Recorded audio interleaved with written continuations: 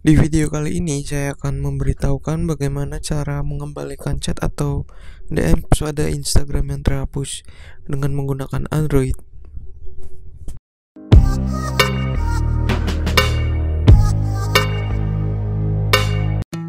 Oke, ini adalah chat yang akan saya hapus. Kita coba chat terlebih dahulu.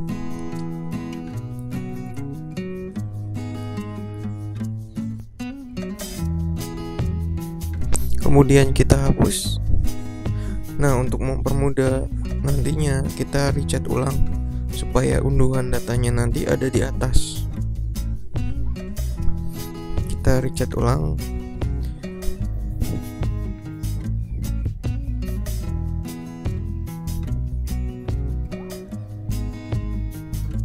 Oke, nah untuk mengembalikan chat atau DM Instagram yang sudah terhapus, kita buka Instagram dengan, dengan menggunakan browser.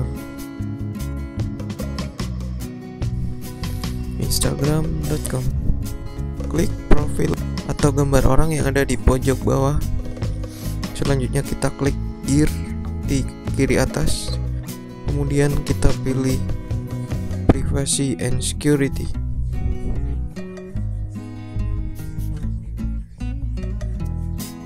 Kemudian di bagian paling bawah ada data download. Klik request download. Kemudian kita disuruh memasukkan password Instagram. Nah, kita tinggal menunggu email. Nah, ini emailnya. Kemudian klik dan tahan tombol download data, kemudian copy URL dan buka URL yang tadi kita copy dengan browser. Nah, sekarang kita klik download data.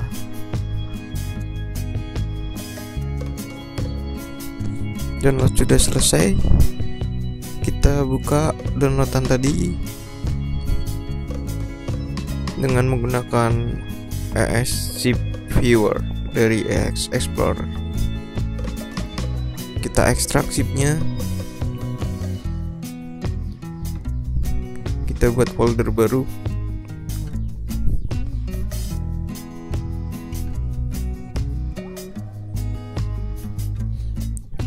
Ekstrak nah sebelum melanjutkan klik tombol subscribe terlebih dahulu dan klik tombol lonceng yang ada di sampingnya. Terima kasih. Sekarang kita buka Play Store kemudian kita ketikkan JSON kita download JSON Jenny. Tunggu hingga instalasi selesai. Jadi JSON Jenny adalah aplikasi untuk membaca file JSON dari unduhan data Instagram tadi. Itu filenya bentuknya JSON ya. Klik agree terus allow. Kemudian klik tiga garis yang ada di kiri atas atau option kemudian pilih open JSON file. Kemudian kita cari file yang kita ekstrak tadi.